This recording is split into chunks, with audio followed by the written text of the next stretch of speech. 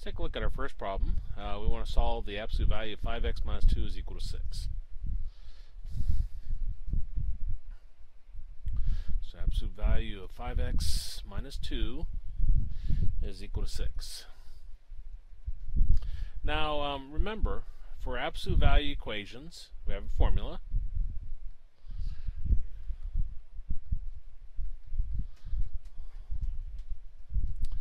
And what it says is if um, we got the absolute value of something is equal to something else, then we drop the absolute value and set it equal to the positive the other side, and we set it equal to negative the other side.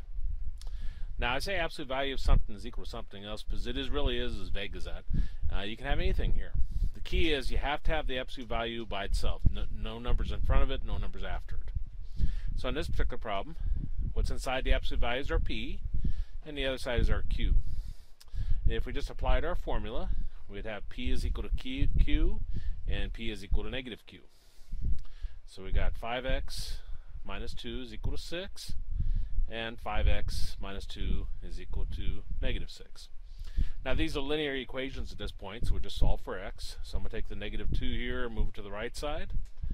So we got 5x is equal to 6 plus 2, or 5x is equal to 8.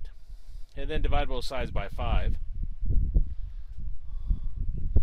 And we get uh, x is equal to 8 fifths. These uh, 5's cancel right here. Now let's do this one. Um, take the negative 2, move it to the right side. So we become becomes negative 6 plus 2. Remember when you take anything across equals, the sign changes. And negative 6 plus 2 gives us negative 4.